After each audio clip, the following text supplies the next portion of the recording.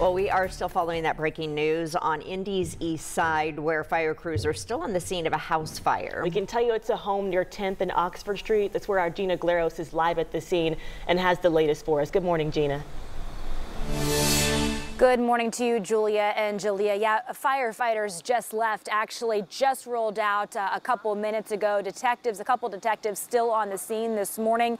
I want to show you a look at the damage behind me. This home charred and destroyed. A firefighter tells me uh, the fire caused them some holes in the stairs, holes in the, um, in the floor. Now, the good news here is that this home was vacant. Um, the firefighter tells me potentially squatters were inside, but that's not confirmed.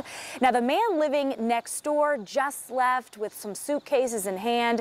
He is now displaced from this fire. Tells me he's he didn't want to go on camera, but he says, of course, he is extremely frustrated. Now, the home on the other side was not not affected at some, some um, really kind of some hot spots there, but they were not affected. They are still inside of their home. Now, two firefighters were slightly injured, taken to Eskenazi Hospital for minor injuries just to be checked out. But the cause of this fire uh, is still unclear. Detectives still working inside to determine a cause. But again, um, no one uh, inside the home. And that's the good news this morning. Julia, Julia, back to you in the studio.